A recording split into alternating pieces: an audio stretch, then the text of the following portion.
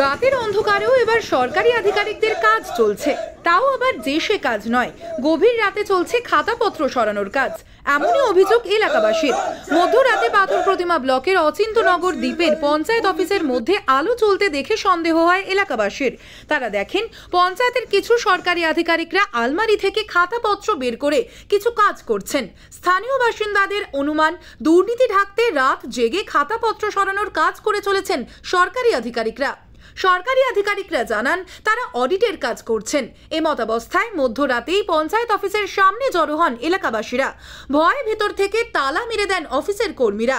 সকাল হতেই এলাকার সাধারণ মানুষ এবং বিজেপি কর্মী সমর্থকরা এসে অফিসের বাইরে বসে টায়ার পুড়িয়ে আগুন জ্বালিয়ে বিক্ষোভ দেখাতে শুরু করেন। এগারোটার সময় আমরা দেখতে পাই অঞ্চলের ভেতরে আলো জ্বালানো এবং কতিপয় অঞ্চল কর্মী এবং টিএমসির পঞ্চায়েত সদস্য অঞ্চলের ভেতরে। আমরা জিজ্ঞাসাবাদ করতে ওনারা বলেন যে অডিট চলছে। যে রাত্রি এগারোটা, বারোটার সময় অডিট কিসে? যখনই আমরা বিভিন্নভাবে প্রশ্ন করতে থাকি, তখনই ওরা ভেতর থেকে তালা বন্ধ করে। তাতে আমরা আরও দু পাঁচজনকে জড়ো করে প্রশাসনকে খবর দিই।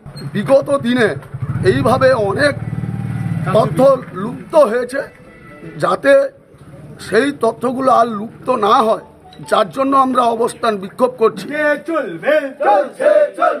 পঞ্চায়েত অফিসের মধ্যে মধ্যরাতে সরকারি কর্মচারীদের অডিট করার বিষয় সম্পর্কে জয়েন্ট বিডিও সুবীর রায় জানান কর্মচারীদের চার বছরের কিছু অডিটের কাজ বাকি রয়েছিল।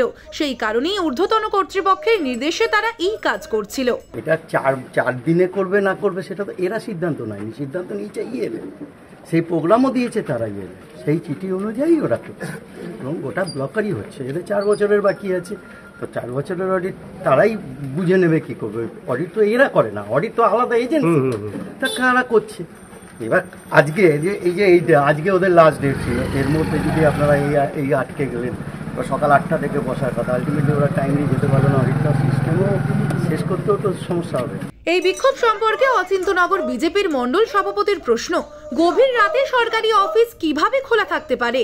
তাছাড়া অফিসের ভিতরে সরকারি কর্মচারী ছাড়া বাইরের মানুষ কিভাবেই বা প্রবেশ করতে পারেন? আমাদের প্রশ্ন ছিল যে রাত্রি বারোটার সময় সরকারি অফিস খোলা কেন? তো তাতে করে জয়েন্ট বিডিও সাহেব বললেন যে সরকারি কাজের জায়গাতে অফিস খোলা থাকলে থাকতে পারে ওটাকে নিয়ে আপনারা যে কথা বলছেন, এটা সঠিক কথা বলছেন না।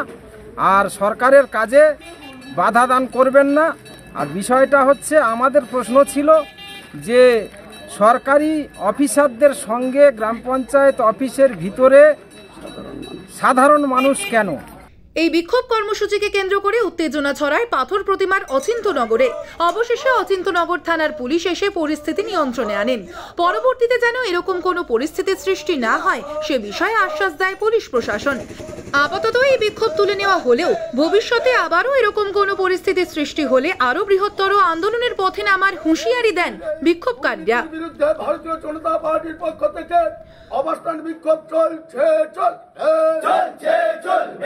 পাথর প্রতিমা থেকে গোপাল শীলের রিপোর্ট ওঙ্কার অনলি ট্রুথ